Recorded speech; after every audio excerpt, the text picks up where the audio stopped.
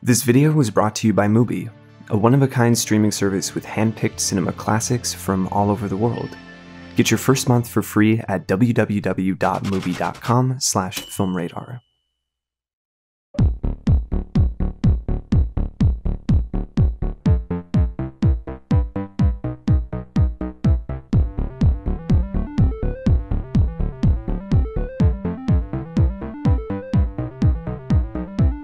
You were a little boy, what did you want to be when you grow up? And I wanted to be a movie director. I was eight years old. I, I was eight. I walked out of the Rafael Theater on 4th Street in Santa Fe, and I just seen um, Butch Cassidy and Sundance Kid, and I walked down and I got my dad's 65 Impala, and he said, what did you think? Because he loved the movie. And I said, that was amazing. And he said, so what do you think about it? You know, what do you, and I said, I want to make movies. This is Marin County, this is San Anselmo, um, Marin County Bay Area in San Francisco. You're talking about THX 1138 was made at the Marin County Civic Center. The Godfather was shot on Shady Lane and, and Ross.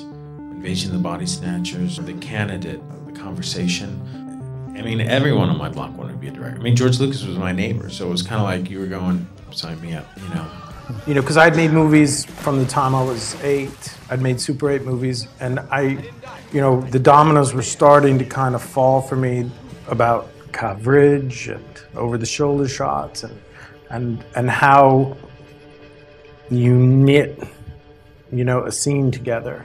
I kind of, when I got into high school, I worked um, after school directing plays and doing lighting for plays.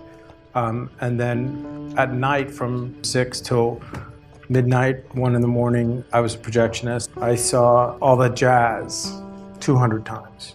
I saw 1941 200 times. So it was, it was, you know, it was whatever, whatever was there that was interesting. I was, I just would watch it. What was your first break? How did you? What was your, your first lucky moment that got you towards the, on the path you wanted to be on? Well, I, I worked in a darkroom. I started working for John Korty. uh, a local filmmaker who was one of the original sort of triumvirate of omnizoetrope. So it was Francis Coppola, George Lucas, and John Korty. I was just out of high school and I'd gone to a um, sort of summer school film program. A friend of mine who had been through this program had gotten a job work for Korty and, and was and was in the darkroom. I mean, it was really, really, it was big, technical, photographic stuff. And it was, I liked it, you know, it was fun. I did a lot of that in high school. And um, so I did that for about six months, seven months. And then I moved into the animation department, mostly just moving boxes and being a PA. Beyond that, didn't you work? You worked on some uh, ILM or something? Yeah, I got a job. My roommate was uh, worked in the was a, uh camera assistant in the matte department at ILM, and I was helping the visual effects department. It was run by a guy that I worked for in the darkroom, and he had this idea. There was a sequence in the movie where characters had to fly through live action traffic, and so I had this idea that I would take a Steadicam and I was going to try to gyro stabilize it or something, and, and I could do this flying plate, and I could shoot this um, at like three or four or five frames a second. So I was trying to rent the equipment in San Francisco, and so I called my friend who worked in the matte department there, and I said, you know, we find out when they're going to be done with it because I want to run because I have this idea to do this this um, under crank Steadicam stuff. He said, who told you about that? I said, no, one. I just had an idea I needed to solve he's like, I can't talk to you, man. I gotta call you back. I gotta call about an hour later, and it's Dennis Muren, and Dennis Muren goes, Who told you about the undercrank Steadicam stuff? And I said, well, I don't know. So they were working on the speeder bikes for Return of the Jedi, and they were working on the same at the same time.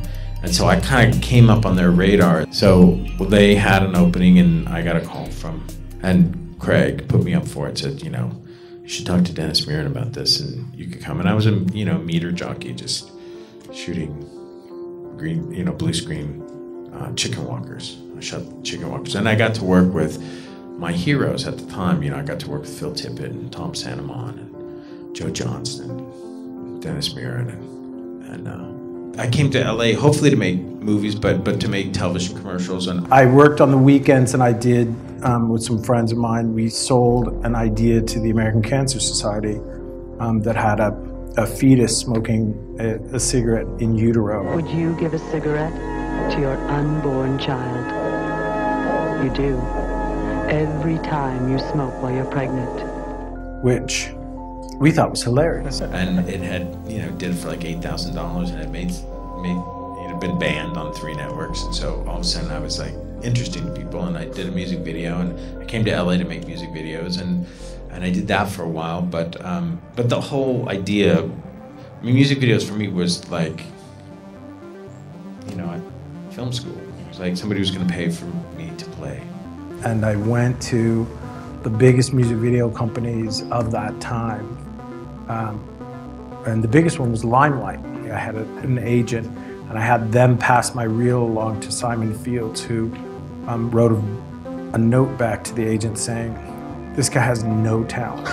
we have no interest." And and I vowed at that moment to um, dance in the ruins of Limelight.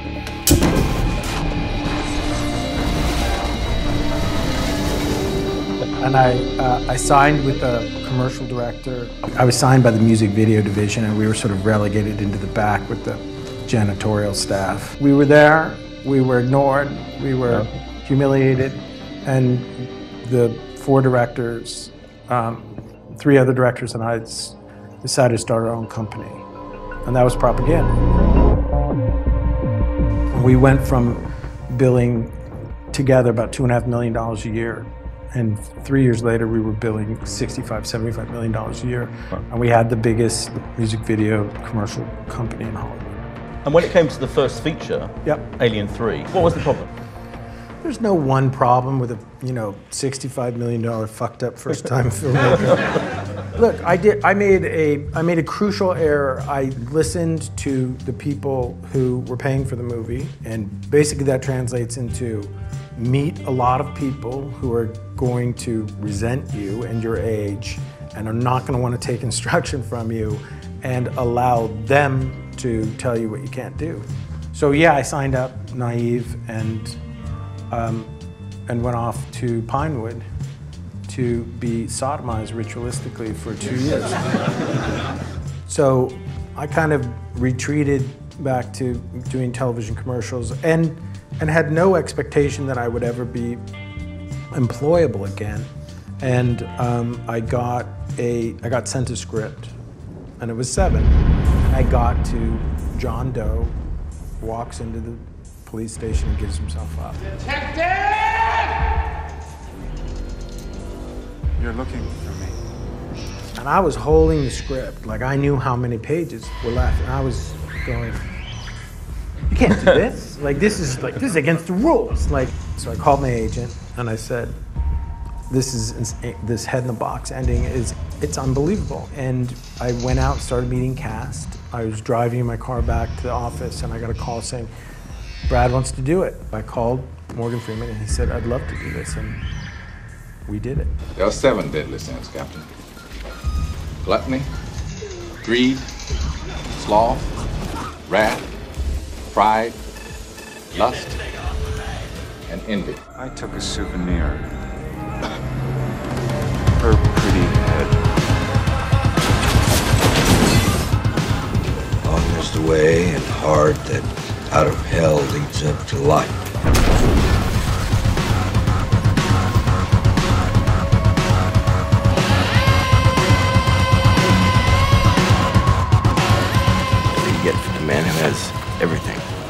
Behind this? Who did this to me?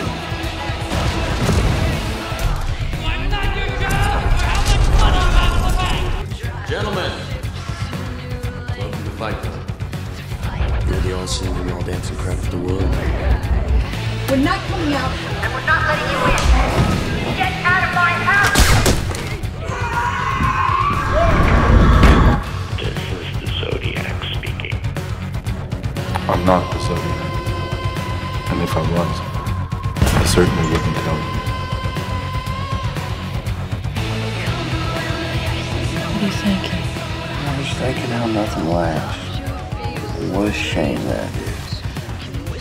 You better lawyer up an asshole, because I'm not coming back for 30%. I'm coming back. for Something happened to her. Someone in the family murdered Harriet. For the past 40 years, has been trying to drive me insane. Elizabeth, I want you to help me catch a killer of women. The way he looks at me. I think, man of my dreams. This man of mine may kill me.